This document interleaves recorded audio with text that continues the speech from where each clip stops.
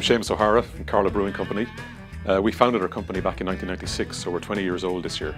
You know, it's been a really interesting journey, lots of twists and turns along the way, but we're very proud of, of the part we've played in developing the craft brewing industry in Ireland over that 20 years uh, to get to a place where today, you know, O'Hara's is available nationwide and we're exported to over 25 countries.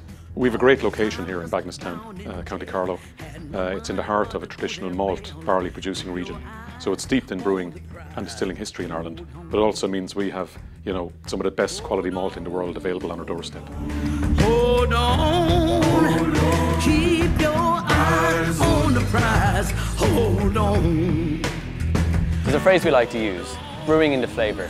And what we mean by this is we will spend a lot of time sourcing only the best ingredients that we will use in our beers. This is to ensure that we get the maximum flavour out of every recipe.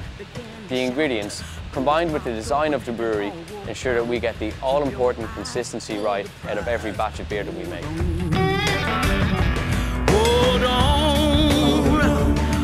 When you drink a pint of O'Hara's, you know you can trust it. You can trust the name there because there's 20 years of experience behind that. You know the people that's making it. And it's going to be consistently the same whether you're drinking in Dublin, Paris or New York. It's going to be the same quality of beer and you're going to enjoy it.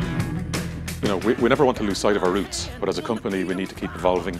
You know, we need to keep pushing the envelope in the beers we create. Uh, so like we're very proud of uh, some of the, the beers we brought out recently, some of the seasonal, some of the limited edition beers.